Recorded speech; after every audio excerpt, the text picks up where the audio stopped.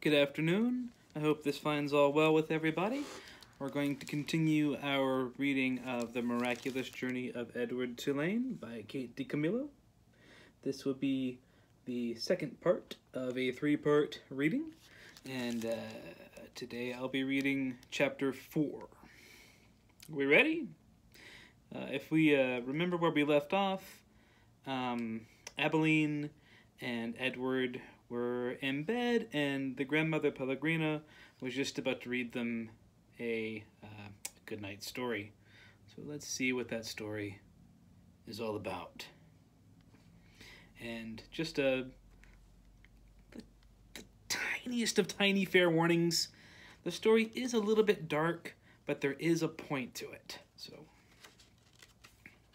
ready? Okay. In my best Pellegrina voice. Once there was a princess who was very beautiful. She shone as bright as the stars on a moonless night. But what difference did it make that she was beautiful? None. No difference. Why did it make no difference? asked Abilene. Because, said Pellegrina, she was a princess who loved no one, and no one cared nothing for love, even though there were many who loved her. At this point in her story, Pellegrina stopped and looked right at Edward. She stared deep into his painted on eyes, and again Edward felt a shiver go through him. And so, said Pellegrina, still staring at Edward. What happened to the princess? said Abilene. And so, said Pellegrina, turning back to Abilene. The king, her father, said that the princess must marry, and soon after this, a prince came from a neighboring kingdom, and he saw the princess, and immediately he loved her. He gave her a ring of pure gold. He placed it on her finger. He said these words to her I love you. But do you know what the princess did? Abilene shook her head. She swallowed the ring. She took it from her finger and swallowed it. She said, That is what I think of love. And she ran from the prince. She left the castle and went deep into the woods. And so. And so what? said Abilene. What happened to them? And so. The princess became lost in the woods. She wandered for many days. Finally, she came to a little hut, and she knocked on the door. She said, Let me in, I am cold. There was no answer. She knocked again. She said, Let me in, I'm hungry. And a terrible voice answered her. The voice said, Enter if you must.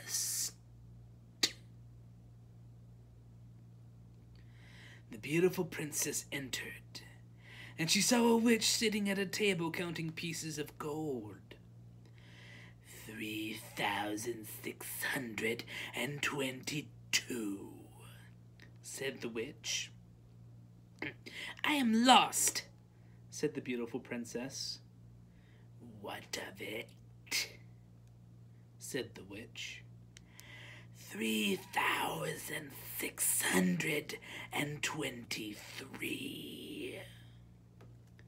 I am hungry, said the princess. Not my concern, said the witch. Three thousand six hundred and twenty-four. But I am a beautiful princess, said the princess. Three thousand six hundred and twenty-five, replied the witch. My father, said the princess, is a powerful king. You must help me or there will be consequences. Consequences, said the witch. She looked up from her gold. She stared at the princess. You dare talk to me of consequences. Very well, then, we will speak of consequences. Tell me the name of the one you love. Love? said the princess. She stamped her foot. Why must everyone speak of love? Whom do you love? said the witch. You must tell me his name.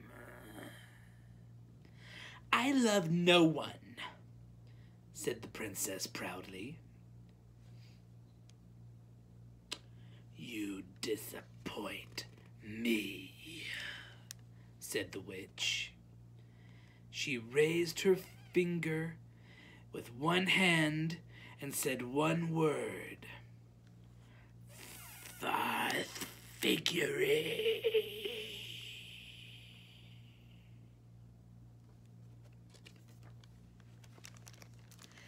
And the beautiful princess was changed into a warthog. What have you done to me? squealed the princess. Hmm, talk to me of consequences now, will you? said the witch and she went back to counting her pieces of gold. Three thousand six hundred and twenty-six, said the witch, as the warthog princess ran from the hut and out into the forest. The king's men were in the forest too.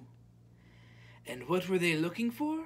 Hmm, a beautiful princess. And so when they came upon an ugly warthog, well, I am afraid they shot her immediately. No, said Abilene. Yes, said Pellegrina. The men took the warthog back to the castle and cooked it up, and inside the cook found a ring of pure gold. There were many hungry people in the castle that night, and all of them were waiting to be fed. So the cook put the ring on her finger and finished butchering up the warthog. And the ring that the beautiful princess had swallowed shone on the cook's hand as she did her work. The end. The end? said Abilene indignantly. Yes, said Pellegrina. The end. But, but it can't be. Why can't it be? Because it came too quickly. Because, because no one is living happily ever after. That's why. Ah, hmm, and so, Pellegrina nodded. She was quiet for a moment. But answer me this. How can a story end happily if there is no love? Hmm. Well, it is late, and you must go to sleep. And so Pellegrina took Edward from Abilene. She put him in his bed and pulled the sheet up to his whiskers. She leaned close to him, and she whispered, Edward, you disappoint me.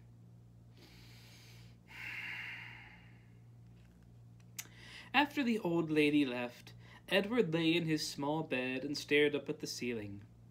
The story, he thought, had been pointless. But then, pff, most stories were. He thought of the princess and how she had become a warthog. Ooh, how gruesome! How grotesque! What a terrible fate! Edward, said Abilene, I love you. I don't care how old I get. I will always love you. Yes, yes, thought Edward.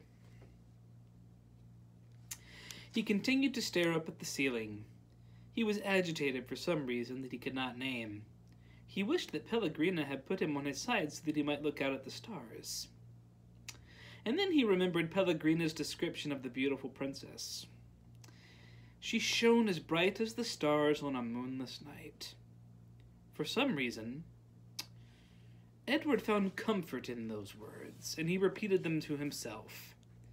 As bright as the stars on a moonless night. As bright as the stars on a moonless night. As bright as the stars on a moonless night. Over and over and over. Until at last, the first light of dawn once again appeared. Tune in next week for the conclusion of our three part trilogy The Miraculous Journey of Edward Tulane.